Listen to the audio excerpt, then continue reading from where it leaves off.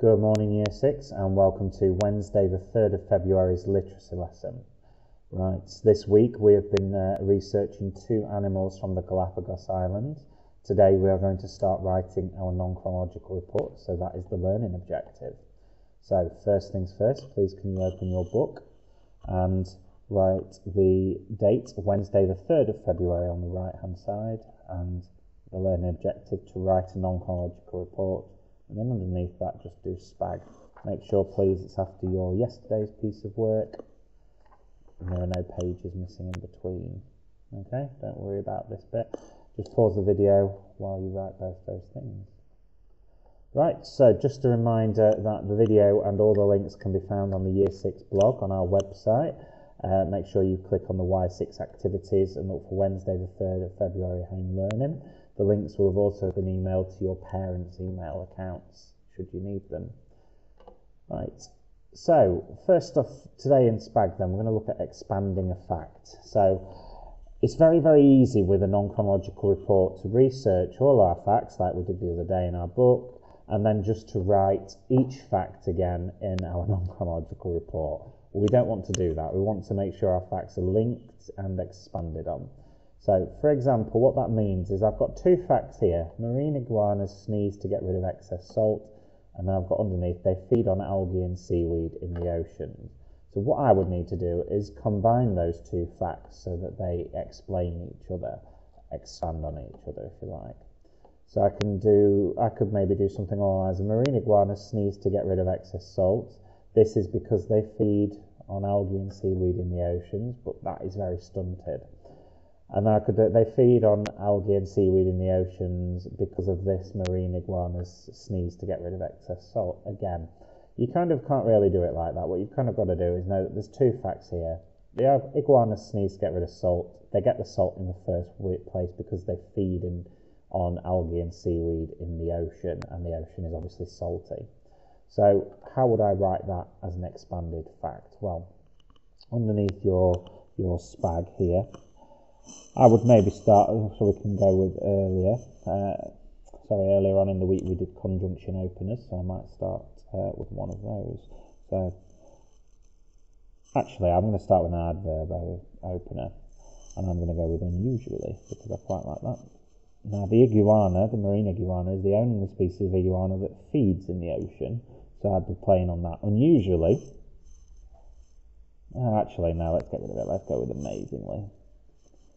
Amazingly, the marine iguana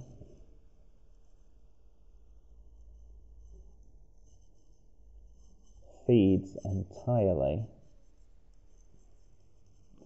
in the ocean on algae and seaweed.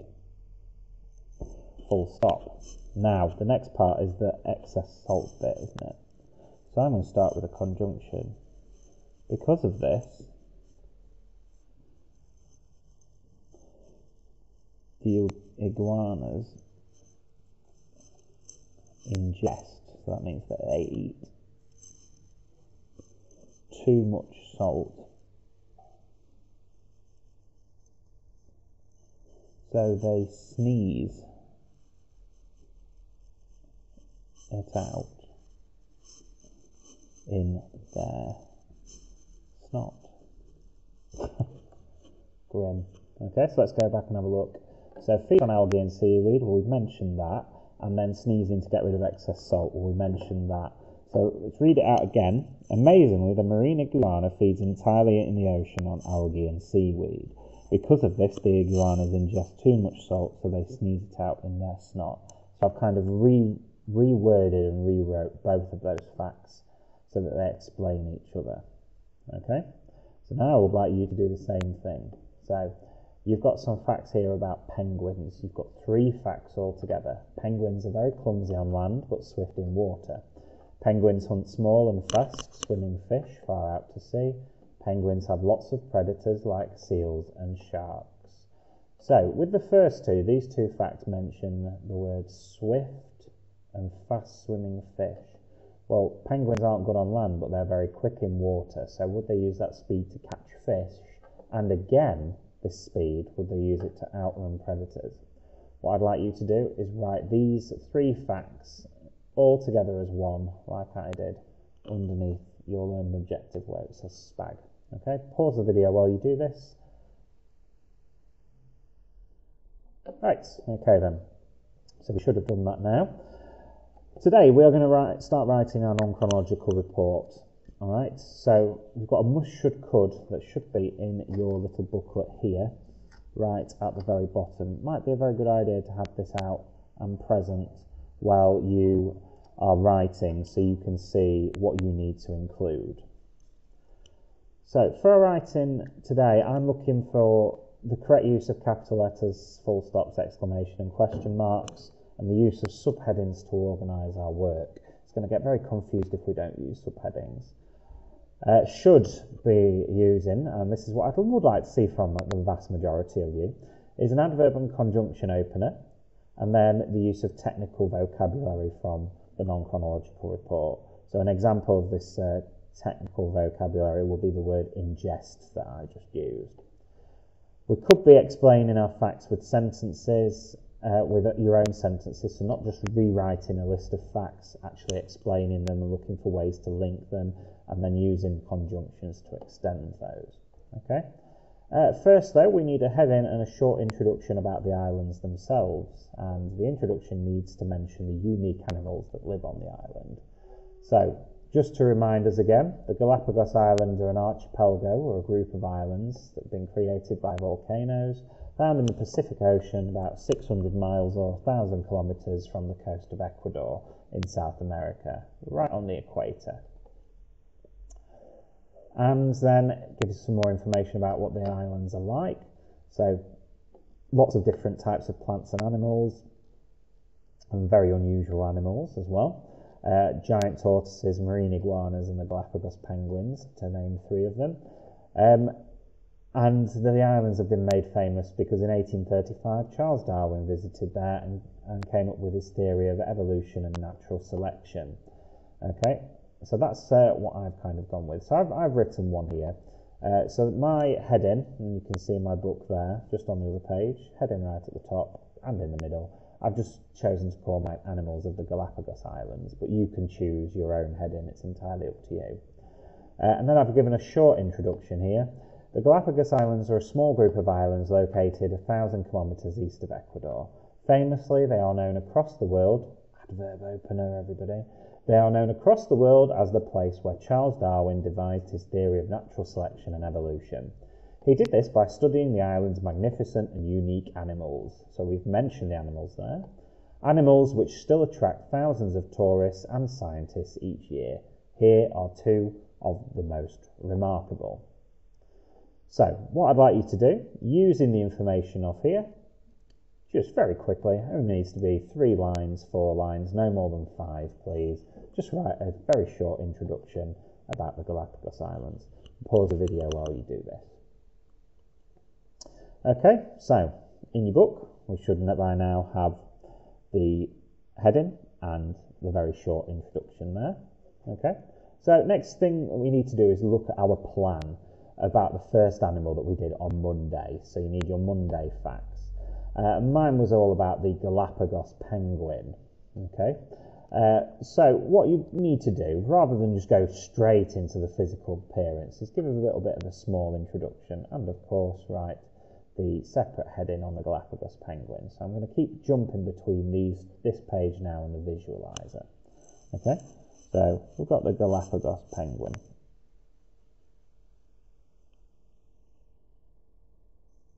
Write that there and underline it. There we go. So, one of the island's most unique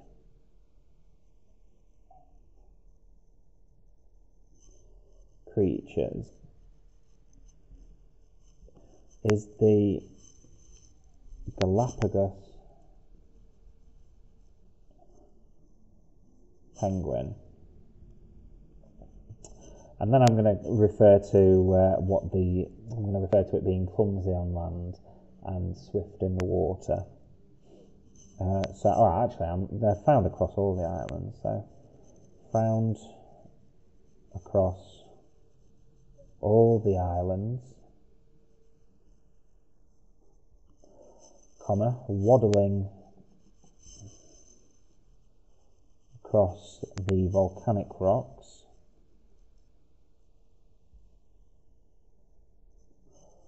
or swiftly swimming.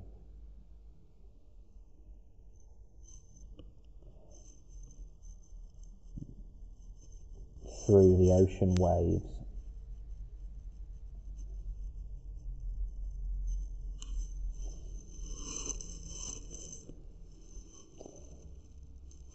You can count on seeing the cheeky and curious Galapagos penguin. So, just a little bit,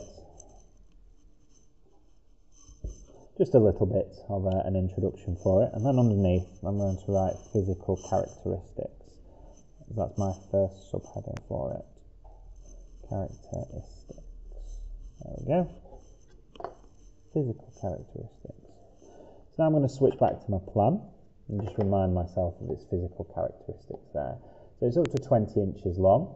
Um, it's the smallest species of South American penguins, 5.5 pounds. It's got it's black on the head with black with, and black with white markings on the head, belly and underside of the flippers, and they can live for 15 to 20 years. And I've got a couple of things on natural predators there that we don't need to really include on that there. I'm just going to distinctly remember something. Oh, yeah, and the, there was that about the bill, wasn't there? Mm. Oh, and the females being smaller than males. Right, so let's jump back then. Now, with all that information, so we don't really want to start with an adverb opener because there's nothing amazing about being, or, you know, uniquely or about being 20 inches long. So, I'm going to start with Did you know? Did you know? the Galapagos penguin.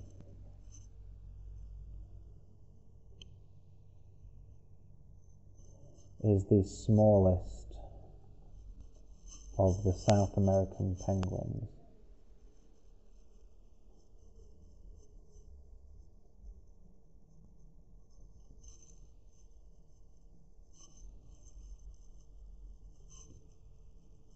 penguins, making sure I put my question mark. Actually, no, let's get rid of that. Weighing only 4.4 to 8 pounds and measuring up to 20 inches. Okay, so did you know the Galapagos penguin is the smallest of the Ah, the smallest of the smallest of the South American penguins. Dear me. Smallest of the South American penguins, weighing only 4.4 to 8 pounds and measuring up to 20 inches, making sure I've got my question mark at the end there. So let's have a look at the facts again. So we've kind of covered all of those three in one there. Oh, I've gone completely off the wrong page this wonderfully, so I'm going to write about its coat now, this wonderfully majestic marine bird has black plumage. Remember that's feathers, so getting that technical vocabulary in there.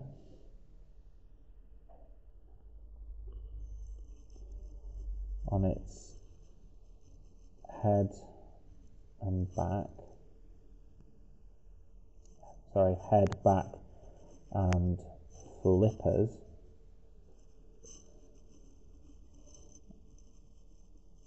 And has distinctive That means different. White markings.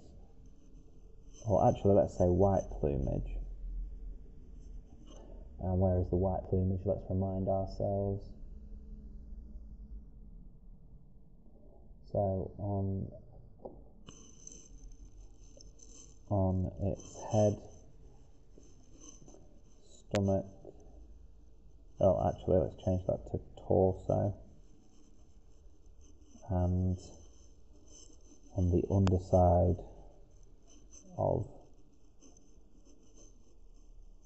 its flippers.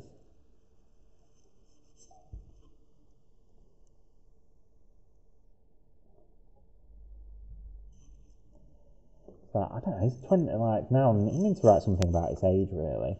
That's maybe amazingly. I wouldn't have thought a penguin would have lived up to 20 years. Amazingly. This. Now, we need to make a comment, really. So, we could put this penguin can live up to 20, can live in the wild up to 20 years old. But, like, let's put this long lived, yeah, this long lived animal can survive up to 20 years, survive for up to 20 years in the wild. Imagine having a 20 year old penguin. Never would have thought that. Okay. Uh, right, so now we've done the physical characteristics part, I think I'm probably going to leave that there. Um, and then move on to habitat. All right. So that's what you will need to do first. Start off with its physical appearance. When you've finished that, you finish your characteristics there. Now, as you can see at the bottom, I've only got a, a very, very small amount. So I'm just going to move the keyboard out of the way. I've only got a very, very small amount, and there's a little point in me starting a subheading there. So I'm just going to turn over, and then I'd write habitat at the top of the next page. Okay, right. So, find my ruler. Again, what I would like you to do now, that's all the writing I'm going to show you. Um, so what you need to do is look at your plan and like we've just done like we've just done on my first page there, look at writing all these facts and using them in a way to explain each fact. Okay, it's uh, physical characteristics is quite easy to do. Uh, do you know what? Actually, I probably will show you in uh, in habitat. Okay, so looking at habitat then. Well, these penguins are the only penguins to live on the equator. All the penguins live towards the south pole. Um, yeah, and Antarctica there. Sorry, I lost my train of thought there. So, starting off with habitat, I'm just going to remind myself of my mushroom in here. So I'm not going to look now. I've got my adverb opener in. I'm going to try and see if I can get a conjunction opener in. And we've got the technical vocabulary and the subheadings to organise. Got the capital letters, question marks, and full stops. Really, we're looking to explain these facts in this section. So let's have a look at these. So I'm going to start off with most penguins live in the southern hemisphere. Hemisphere, extremely far south,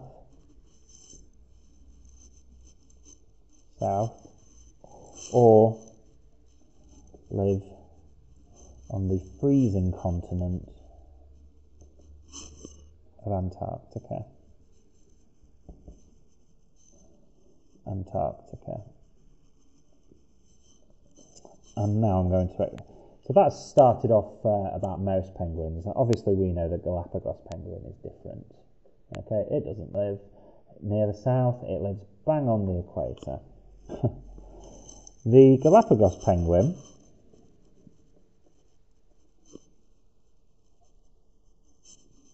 penguin is different.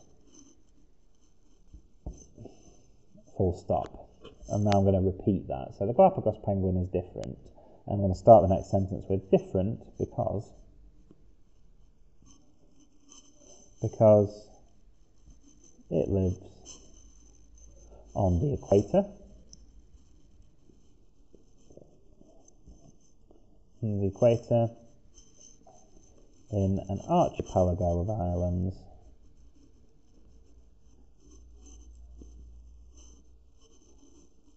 islands in both the southern and northern hemisphere.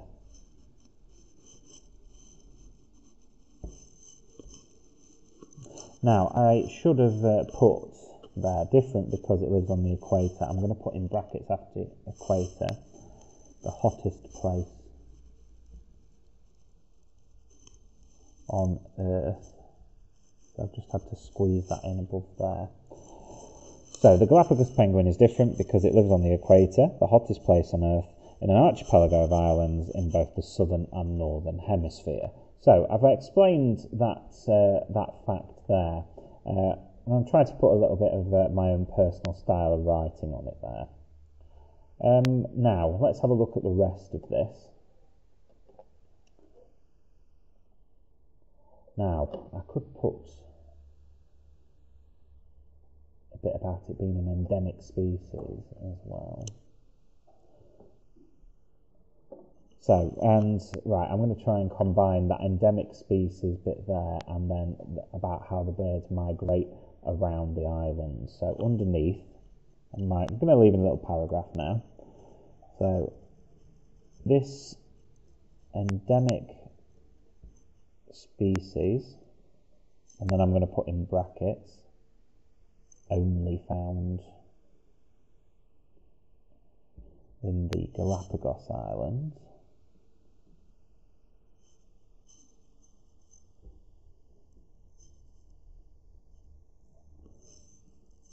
Actually, I'm going to change this endemic species to these endemic birds. These endemic marine birds. A few more um, scientific vocab there. These endemic marine birds, only found in the Galapagos Islands,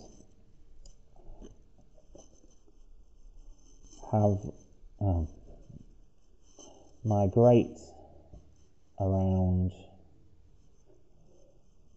the islands depending on the time of year. Now I'm going to do a, a colon now. I'm going to put a little bullet point list.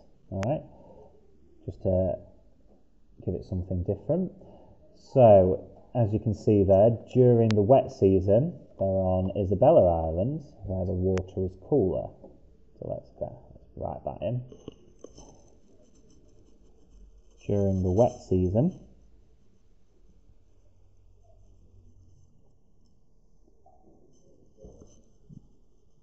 These birds can be found on Isabella Island,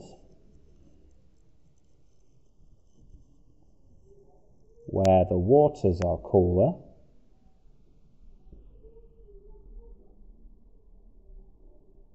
and the food. Oh, actually, let's change that. And there is a plentiful food supply. Full stop. Right, and then I'd put my other little bullet point, so let's go back. Where can they be found during the dry season? So during the dry season, they can, they migrate to Bartolome and Santa Fe. Oh, change that back again. During the dry season, comma, they can be found in the cooler waters of Santa Fe and Bartolome. There we go. All right, so a little bit on habitat there. Uh, now, I'm gonna I'm gonna stop it there because we've got 25 minutes on this video.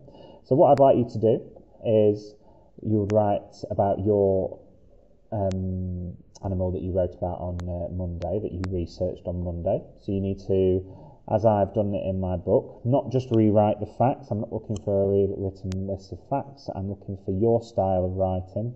Okay.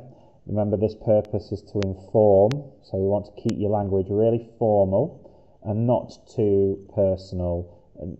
This would be the wrong uh, kind of writing to try and make it humorous. Okay. Um, so what you need to do now is you need to write your section on the Galapagos penguin about its physical appearance, its habitat, and once you've done that, behaviour and communication, feeding habits, fast facts, or whatever your subheadings were from your research the other day. Okay. Um, when you've finished, I'll leave this up. This is where you might want to pause the video.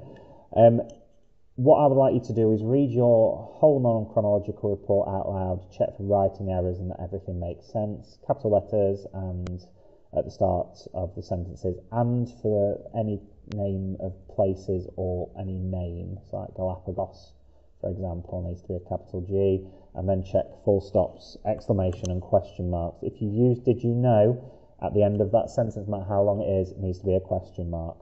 Okay? Right. Thank you, Year 6. I will see you tomorrow for writing part 2.